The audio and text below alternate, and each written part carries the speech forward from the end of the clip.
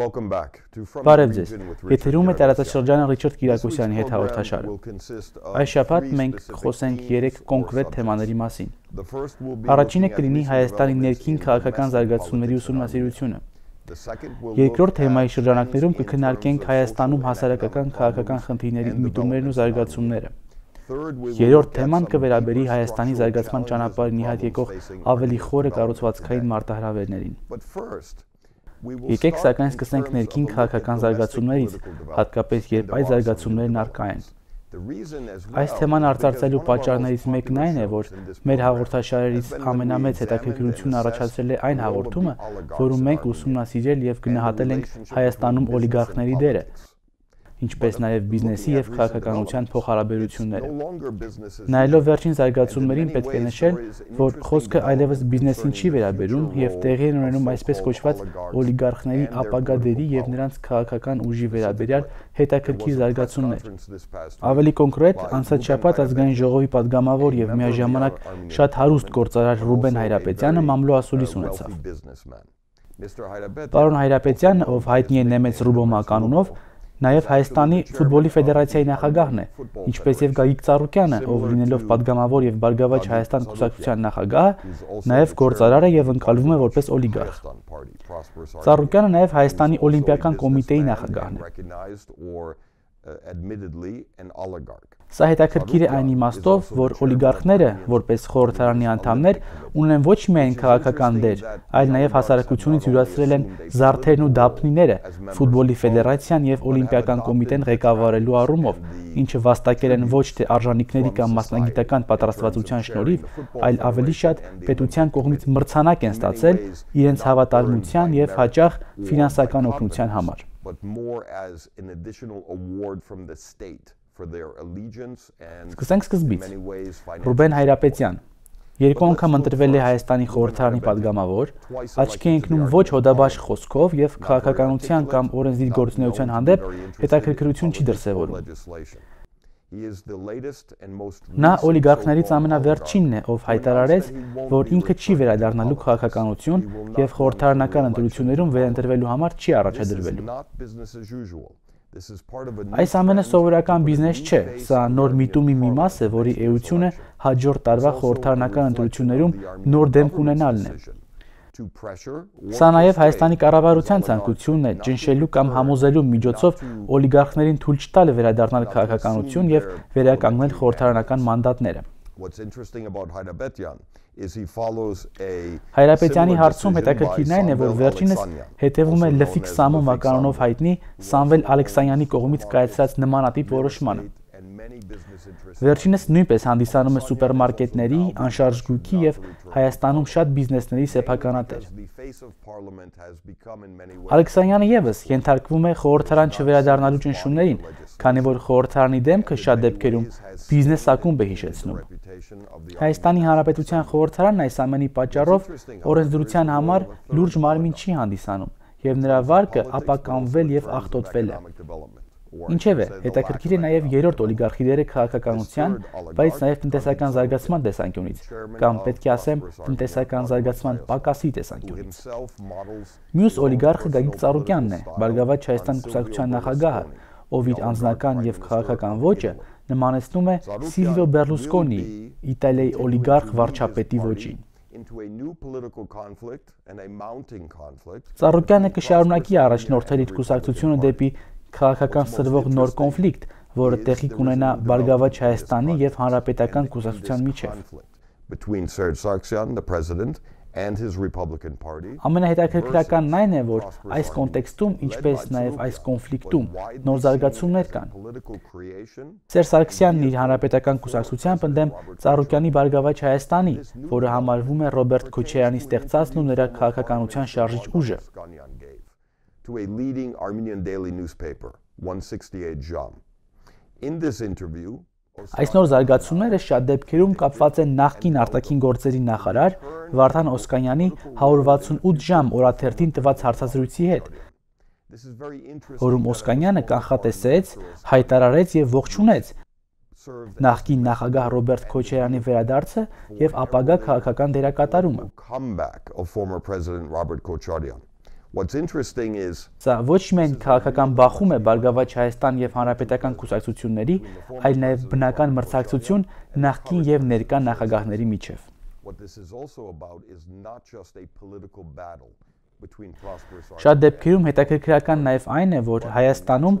քաղաքականությունը մեծապես կապված է երեք նախագահների հետ։ Առաջին նախագահ Լևոն Տեր-Պետրոսյան, երկրորդ նախագահ Ռոբերտ Քոչարյան եւ ներկայիս նախագահ Սերժ Սարգսյան։ and the current Serge Sargsyan. Սա բացահայտում է նաև Հայաստանի քաղաքական համակարգի փակ բնույթը,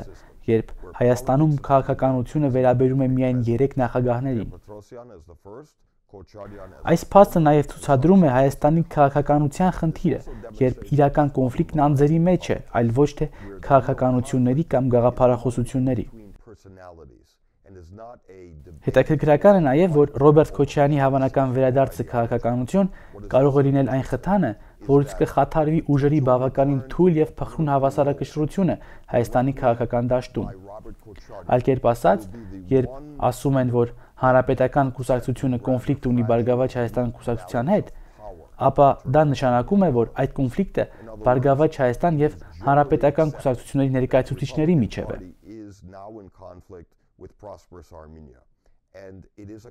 Սակայն ավելի անմիջական կոնֆլիկտը, որը հիմա զարգանում է, անձնապես Սարգսյանի եւ Քոչարյանի միջև է, եւ սա ամենահետաքրքիրն է, որովհետեւ շատ դեպքերում, ինչպես Մոսկվան, այնպես էլ Վաշինգտոնը կողմ չեն, որ Ռոբերտ Քոչարյանը վերադառնա քաղաքականություն, քանզի Ռուսաստանը եւ Միացյալ Նահանգները կարող են հասկանալ եւ ընդունել թույլ Հայաստան, բայց նրանք չեն ցանկանա անկայուն Հայաստան։ because in many ways Russia and the United States can understand and even accept a rather weak Armenia. Իսկ Ռոբերտ Քոչյանի հավանական վերադարձը քաղաքականություն կարող է դառնալ այն խթանը, որը կհանգեցնի բնակչության մեջ լուրջ ըմբոստության եւ հավանաբար հեղափոխական արձագանքի,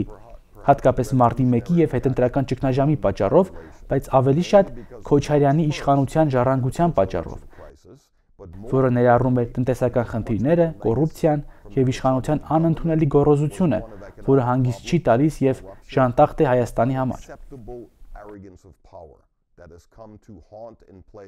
Անցնելով առաջ պետք է ասել, որ եւս մեկ հետաքրքիր զարգացում էր Լևոն Տեր-Պետրոսյանը որպես առաջին նախագահ, ով ներգրաված է Հայազգային կոնգրես իշխանություն երկխոսության մեջ, որ հնարավոր է շուտով վերականգնվի։. Լևոն Տեր-Պետրոսյանն անցած շաբաթ ընդդիմության հանրահավաք անցկացրեց։ Տեր-Պետրոսյանի կազմակերպված վերջին հանրահավաքում քաղաքացիական անհնազանդության պատրաստվելու կոչեր հնչեցին։ Սա շատ հետաքրքիր է ու միաժամանակ կասկածելի։ also Քաղաքացիական անհնազանդության ժամանակը 2 տարի առաջ էր, որպես հետընտրական ճգնաժամի հետևանք եւ առանց հստակ կազմված ծրագրի, առանց པարզ եւ փոխհամաձայնեցված մարտավարության այս պահին քաղաքացիական անհնազանդության կոչը հավանաբար չի աշխատի։. Ներքաղաքական զարգացումների հետ մեկտեղ հետաքրքիր է նաև հասարակական տնտեսական պայմանների ուսումնասիրումը, որովհետև այն ինչ մենք ունենք քաղաքական առումով շատ դեպքերում փակուղի է եւ կոնֆլիկտը այլևս ընդդիմության եւ իշխանության միջև չէ։. Ավելի կարևոր եւ շատ ավելի էական կոնֆլիկտը հենց իշխանության ներսում է, քաղաքական էլիտայի մեջ, Բարգավաճ Հայաստանի որպես կոալիցիայի համար երկրորդ կուսակցության եւ հանրապետական կուսակցության ու Սերժ Սարգսյանի միջև։ In the coalition and the Republican Party. Տնտեսության առումով, սակայն, եւս ճգնաժամ է,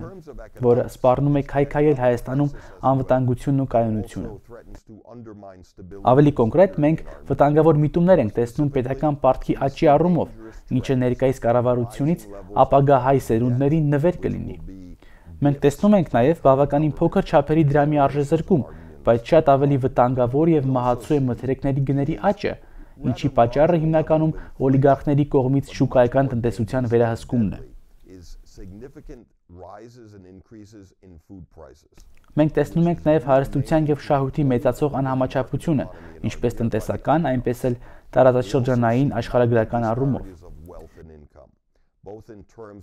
Հայաստանի մարզերի եւ մայրաքաղաք Երևանի միջև հարստության եւ եկամուտների անհամաչափություն կա։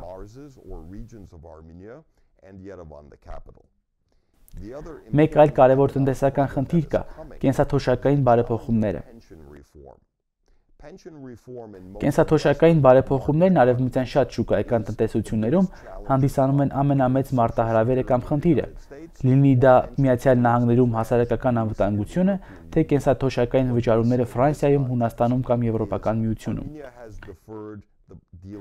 Այս կոնտեքստում մենք տեսնում ենք, որ Հայաստանը դանդաղում է այդ խնդրի հետ առնչվել, սակայն կենսաթոշակները եւ այդ համակարգում կայունության պակասը լուրջ եւ ահագնացող մարտահրավեր է, որը կծառանա ինչպես Հայաստանի ներկայիս, այնպես էլ հաջորդ կառավարության արչեւ։ Մենք կարող ենք տեսնել նաև հատկապես հարստության անհամաչափություն, որովհետև Հայաստանում հարստությունը շատ ավելի անձնական է, քան պետական ռեսուրսները կամ պետական հարստությունը։ Իրականում երբեմն մենք ավելի շատ տեսնում ենք հարստության չափազանց անընդունելի եւ նաեւ վիրավորական ցուցադրություններ օլիգարխների եւ որոշ անհատների շրջանում։ Հարստություն, որ ավելին է, քան պետական ռեսուրսները կամ Հայաստանի կառավարության բյուջեն։ Այստեղ կարևոր է նաև այսօրվա հաղորդման երրորդ ասպեկտը՝ ավելի խորը միտումները։ Կան կոնկրետ երկու ավելի խորը խնդիրներ եւ մարտահրավերներ, որոնք ծառացած են Հայաստանի արչեւ հիմա եւ որոնք ժամանակի ընթացքում ավելի են վատթարանալու։ Առաջինը կրթությունն ու գիտությունն է։ Խորհրդային տարիների կրթությունն ու գիտությունը իրականում շատ տպավորիչ էին։ Խորհրդային Հայաստանը գիտության եւ տեխնոլոգիաների ոլորտում շատ մեծ ներդրումներ էր անում։ Խոսելով անկախ Հայաստանի մասին, հատկապես վերջին մի քանի տարիների ընթացքում գիտությունն ու տեխնոլոգիաները պետական ներդրումների առումով մեծապես անտեսվել են։ Գիտության մեջ գործարարության, նորարարության եւ հայտնագործության ոգին Հայաստանի ամենաթույլ օղակն է։ Դրա պատճառով որոշ գիտնականներ զրկվեցին աշխատանքից։ Գիտության եւ տեխնոլոգիաների բնագավառում թերի ներդրումների համար վճարելու գինը եղել է անձնական եւ հասարակական։ Դրա արդյունքը եղավ նաև այն, որ Հայաստանը տնտեսության եւ տարածաշրջանային դինամիկայի առումով դարձավ ավելի քիչ մրցունակ։ Գիտությանն ու տեխնոլոգիաների հետ միասին երկրորդ եւ հավանաբար ամենից կարևոր երկարաժամկետ խնդիրը կրթության ոլորտն է։ Բոլոր երկրներում, նաև Հայաստանում, կրթությունը տնտեսության եւ հասարակության այն հատվածն է, որը ներկայացնում է հայ հետագա սերունդների կենսամակարդակը։ Երկրի ապագան կախված է թե ինչքան ներդրում է արվում կրթության մեջ եւ ինչքան բարձր են կրթության չափանիշները։ Հայաստանում կրթության պակասը նաև համալսարան ավարտածների համար հնարավորությունների պակասի խնդիր է։ Ավելի կարևոր է սակայն այն, որ կրթությունը Հայաստանի Հանրապետությունում երկար ժամանակ եղել է կոռուպցիայի ոլորտ եւ դժբախտաբար ուսման եւ դասագրքերի ցածր մակարդակի պատճառով այն կրթությունը, որ այսօր առաջարկվում է Հայաստանում, ցավալիորեն գործունյա չէ, ինչպես Հայաստանի պահանջները կրթված եւ մրցունակ աշխատուժով բավարարելու հարցում, այնպես էլ երիտասարդ մտավորականության կամ մտավորականների նոր դասի ստեղծման համար young intelligentsia or intellectuals Ներդրումներ կատարելու առումով այս երկու երկարաժամկետ խնդիրները կկանխորոշեն ապագայում Հայաստանի բնույթը, ինչպես նաև այն մարտահրավերների բնույթն ու չափերը, որոնք կծառանան Հայաստանի գալիք կառավարությունների առջև։ Այսպիսով մենք կարիք ունենք անդրադառնալու երկարաժամկետ կառուցվածքային խնդիրներին հիմա, ապագայում մեծածավալ աղետը կանխելու համար։ Շնորհակալություն մեզ դիտելու համար եւ մինչեւ հաջորդ շաբաթ։